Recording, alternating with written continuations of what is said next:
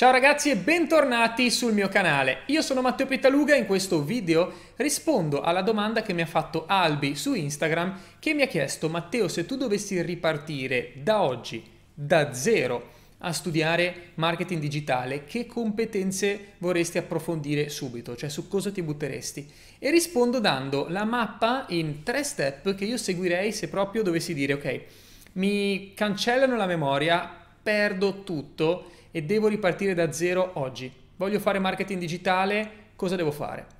Allora, la prima cosa che io farei se veramente mi togliessero la memoria è andare a studiarmi subito come funziona il traffico. Questo è il primo step.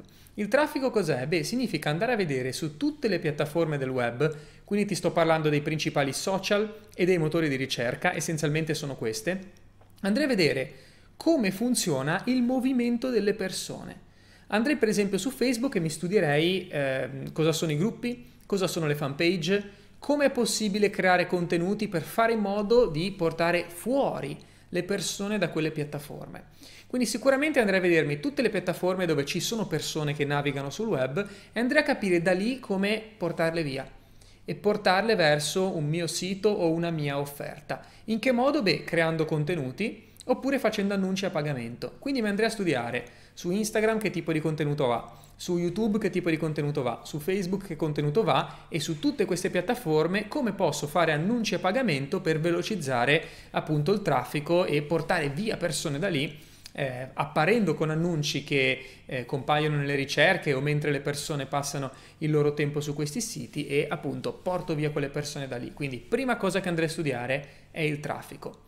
La seconda cosa che andrei a studiare è il funnel, cioè capire come faccio, una volta che le persone le ho portate via da lì, come faccio a convertirle in clienti. Gli offro una consulenza gratuita? Gli offro un preventivo? Gli offro una serie di video gratuiti? O gli offro una pagina web con delle belle informazioni? Che tipo di funnel scelgo? Il funnel, per chi mi segue da poco e vuole capire anche questo argomento, trovi un sacco di video su YouTube da parte mia sul funnel ed essenzialmente eh, è l'esperienza che le persone vivono da quando ti scoprono fino a quando non decidono di pagare. Quindi tutto quello che c'è di mezzo tra il momento in cui gli appari davanti per la prima volta e dicono ma che cavolo è questo, magari non pensano nulla, semplicemente non ti conoscono, fino a quando non dicono cavolo ma questo è un bel servizio, mi piace, lo pago, ecco tutto quello che succede lì, di, lì in mezzo è il funnel. Quindi sono i video gratuiti che gli mandi, sono le informazioni di valore che gli dai, sono eh, per esempio la, la, bellezza del tuo sito web e quanto sono organizzate le informazioni, la chiarezza che tu gli offri. Ecco, quello è il tuo funnel.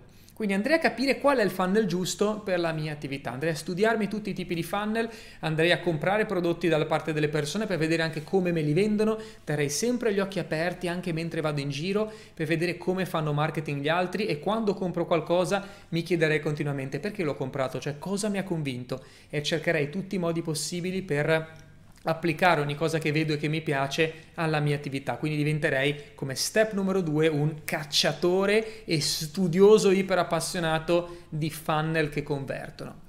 Per terza cosa, e la metto per ultima, il copywriting. Secondo me è molto importante, cioè capire quali sono le parole da usare, il modo di esprimersi, cosa porta le persone a comprare in base a quello che leggono.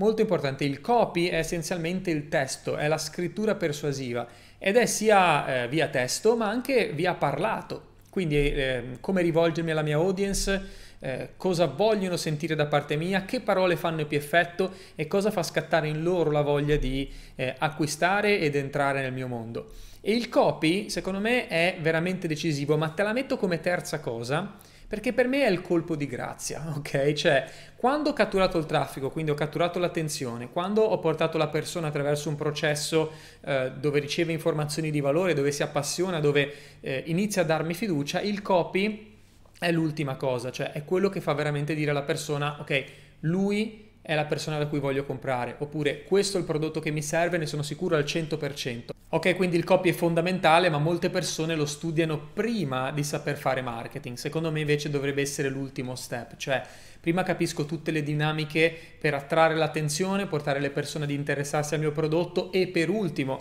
attraverso un copy convincente, mi perfeziono, miglioro la mia offerta, o meglio il modo di comunicare la mia offerta e sicuramente le vendite arrivano in quantità industriale per il mio business. Ragazzi, spero che questo video vi sia piaciuto, lasciate un like, commentate, fatemi sapere la vostra opinione e ci vediamo prestissimo nei prossimi video. Un abbraccio e grazie!